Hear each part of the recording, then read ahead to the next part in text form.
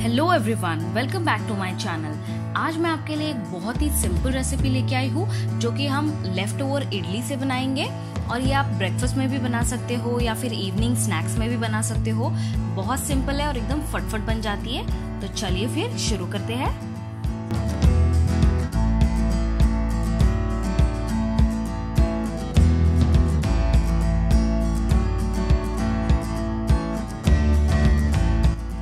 सबसे पहले यहाँ पे मैंने इडली ली है, जो कि सात से आठ इडली है मेरे पास। तो इसके लिए आप फ्रेश इडली भी बना सकते हो, या फिर आप बची हुई लेफ़्ट ओवर इडली भी यूज़ कर सकते हो। इसे ऐसे कट करना है चार भाग में। देखिए, जैसे मैं कर रही हूँ यहाँ पे।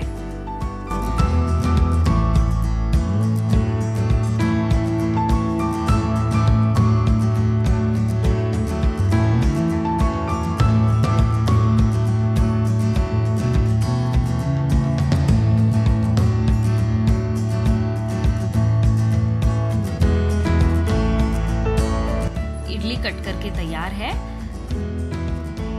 अभी लेना है पैन में थोड़ा सा ऑयल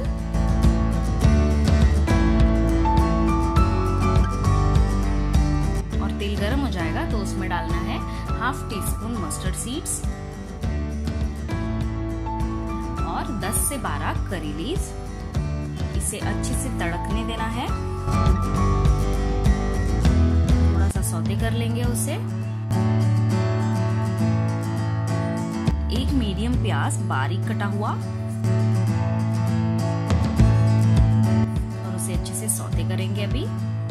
देखिए, प्याज को यहाँ पे हमें ब्राउन नहीं करना है, सिर्फ़ थोड़ा सा उसका कच्चापन निकालने तक पकाना है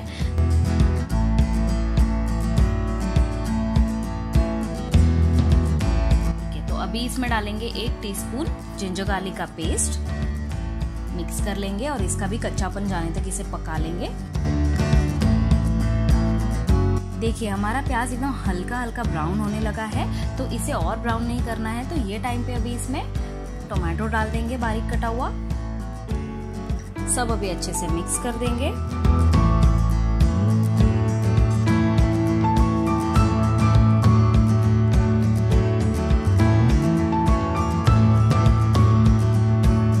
अभी इसमें डालेंगे मसाले, half teaspoon red chilli powder.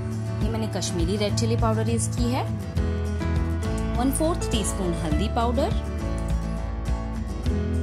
और एक टेबल स्पून पाव भाजी मसाला। और अब इन सबको अच्छे से मिक्स कर लेना है मसाले के साथ।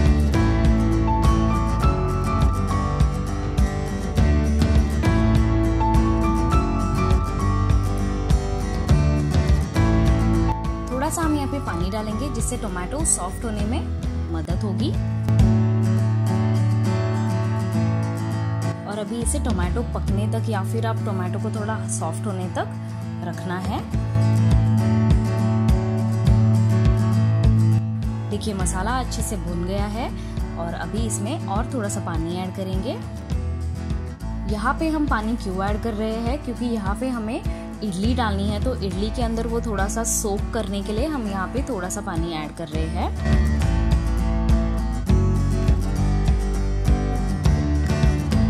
तो चलिए अभी इसमें जो हमने इडली रखी थी कट करके वो डाल देंगे।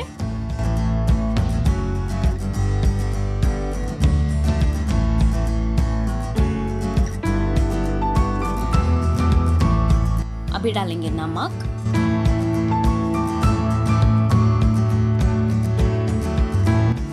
अच्छे से इडली को मसाले के साथ मिक्स कर लेंगे। मसाला उसको कोट होना चाहिए अच्छे से।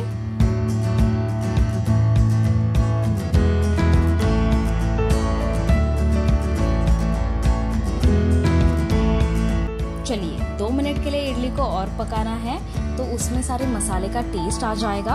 आप इसे ढक के भी रख सकते हो। दो मिनट हो चुके हैं और हमारा इडली मसाला तैयार है। ऊपर से थोड़ा सा धनिया डालेंगे। और इसे भी मिक्स कर लेंगे अच्छे से। और ये रेडी है खाने के लिए। गर्मा गर्म इसे सर्व कीजिए। कोकोनट चटनी के साथ या धनिया पुदीना चटनी के साथ आप इसे आराम से एंजॉय कर सकते हो। बहुत टेस्टी लगता है और एकदम फटफट बन भी जाता है। तो अगर आपको ये रेसिपी अच्छी लगे तो मेरे चैनल को सब्सक्राइब कीजिए नोटिफिकेशन बेल दबाना ना भूले। साथ ही आप मुझे इंस्टाग्राम पे फॉलो कर सकते हो अंडर स्कोर फ़ूड ट्रेल पे। Thanks for watching